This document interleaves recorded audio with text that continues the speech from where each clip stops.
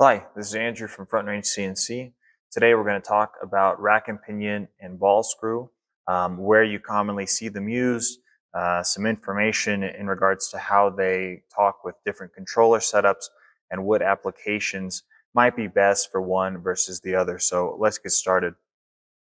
First, uh, we need to look at what is rack and pinion and ball screw and, and why is that such a, uh, a big thing among CNC routers. So on larger industrial style machines, um, you know, four feet by eight feet and larger, you start to see the two major uh, motion components are either a rack and pinion setup or a ball screw setup. Um, almost all machines have got a ball screw on the z-axis, which is typically uh, rather short. And then depending on the length of the machine, you will see either a rack and pinion or a ball screw on the Y or the X axis, uh, depending on the style of the machine. A ball screw setup is one where you've got a um, recirculating piece that's actually moving on a set screw. And depending on the length of that screw, it is either affixed at both ends or potentially the screw itself is actually um, rotating.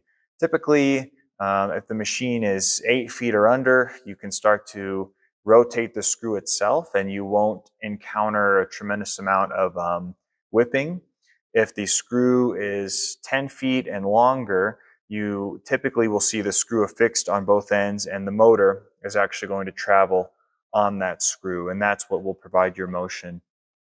A rack and pinion setup is typically, um, you'll see a pinion which has got teeth on it and those teeth are going to go in between the actual rack itself, and that's what will uh, dictate your motion. Um, a rack and pinion can be either a straight rack or a helical setup. Uh, a straight setup is the teeth are dead straight on, and a helical setup is your teeth are at an angle there. Um, typically, a helical setup is quieter. Um, and it's it's a little more expensive than the straight setup, but you do still see that uh, in some smaller applications.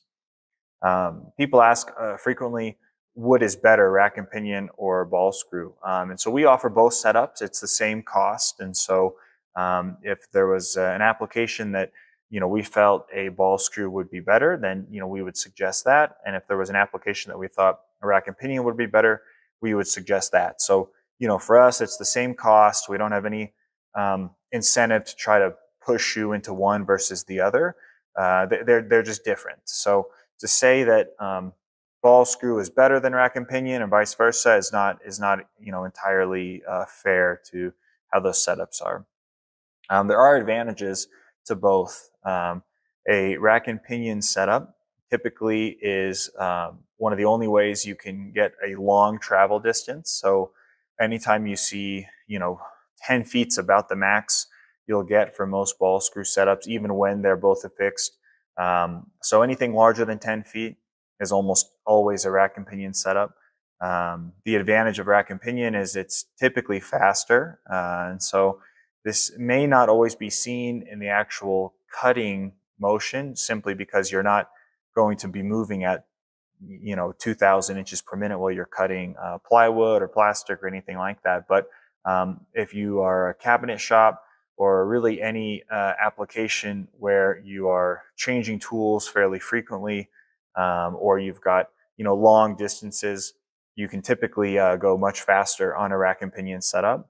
Um, that is one main advantage of rack and pinion. Um, ball screw has its advantages also, primarily when it comes to backlash.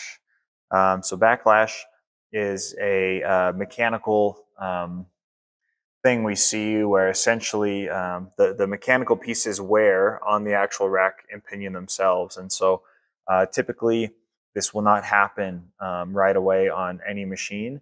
Uh, but as that machine is moving, you will start to have this uh, physical thing called backlash.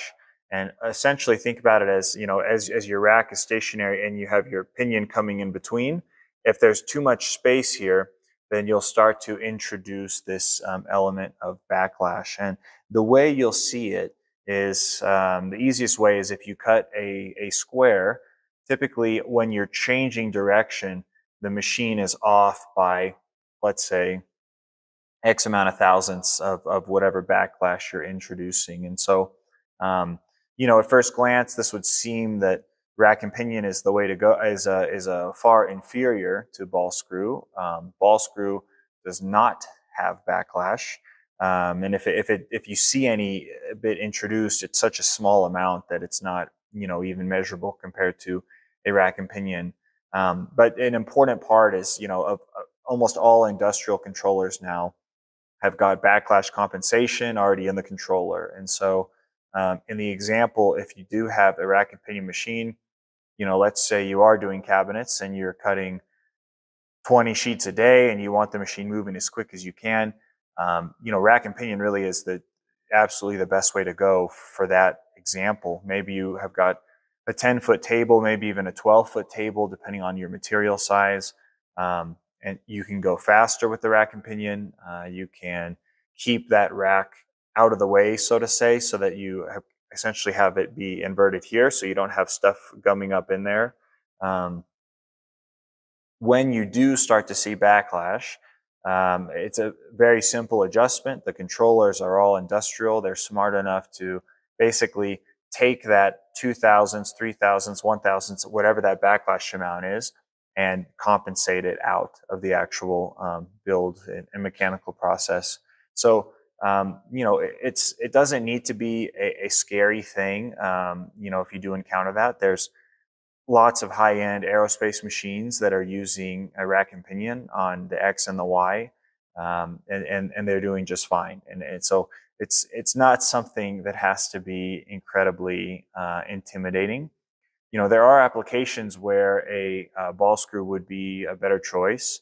Um, you know, typically if you're cutting material that is, uh, you know, one not going to be sanded, is not going to, um, you you can't you can't go back and and uh, and uh, hide an edge or so on. So let's say it's uh, plastic parts or let's say you're cutting um, some certain types of aluminum where you are uh, your, your edges are going together, but but they'll be exposed, and so you know th- there are applications where a ball screw is a good choice. Um, a ball screw would also be a great choice if you did not need speed. If you were the kind of shop that was doing, uh, you know, less parts every week or every month, um, maybe you are doing prototyping instead of production then at that point, you know, ball screw might be a really good choice for you. You'll be able to minimize some of that long-term uh, maintenance, um, but you will give up um, that potential for speed that you would get with the rack and pinion setup. Um, adjusting that backlash, you know, in the future on a rack and pinion, you, you don't need a tech to come out. You don't need anything fancy to do that. You can literally have a dial indicator and check everything, and that can really show you um, what that backlash is. You know, the, the other thing that's really interesting is in these size of machines, depending on what controller you're using, typically um, ball screws need to have uh, what's called uh, lead screw compensation done. And essentially, if you can imagine, um, if your table's 10 feet, every, you know, two to five inches, you are actually uh, measuring with a laser the distance and then inputting into a table what the physical distance is versus what the uh, programmed or what the controller thinks. And so, um, in that case, th- there is still a need on a ball screw machine for this extra step of this lead screw compensation. Um, you know, there, there, are machines in this, um, say, sixty to eighty thousand dollar price range that are using ball screws that um, are not using controllers that even have a lead screw compensation um, built into the controller. And so it, it's one of these things where um, it seems a lot more intimidating than it is, but then you start to go down the rabbit hole and you start to realize that maybe just because it has ball screw doesn't mean it's a better machine or a better um, design than a rack and pinion. Um, there, there are some extra steps that need to be done on a ball screw machine for that to really be, um, you know, a really accurate style of um, router.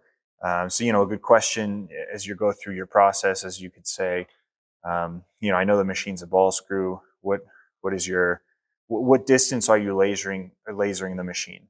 Um, you know, and this is after going on a large mill that, that's basically milling the frames. And then from there, you know, what is your, what is what is the laser uh, compensation table look like? Um, and if a lot of times, you know, companies can say, well, our frames are so good, we don't need to, to laser them. But um, there, there's there's just no way that your frame is is going to be just dead perfect. Um, even on an aerospace style large mill, you'll still need to laser that machine. And so that would be a good question to ask. Um, you know, another question is you might ask, um, you know, based on what I'm cutting, what what would be a better solution? Uh, you know, like I said, we offer both at, at Front Range CNC. So if we talk to you and it seems like a, a ball screw is a better choice, we're happy to to do that and do the compensation table. But if we think a rack and pinion is a better option for you, then then you know that that's a fine option as well. So again, you know, I, hope the key takeaway in in the ball screw versus rack and pinion uh, talk, at least in 2023, using industrial controllers, you know, the, the best takeaway I can give you is that there there's not one is not better than the other. It's really not fair to say that they're just different, um, and they're each tuned for certain applications.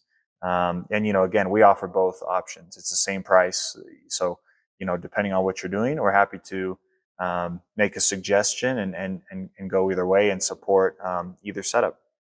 If you do have any questions, feel free to give us a call or uh, send us an email. We'd be happy to kind of answer some questions maybe you have as you go through your own sales process and so on. And if there's any terminology that we've used in the video or maybe that um, you're seeing online somewhere, even on our own site, you know, feel free to reach out and we'd be happy to um, elaborate and explain. All right, thank you.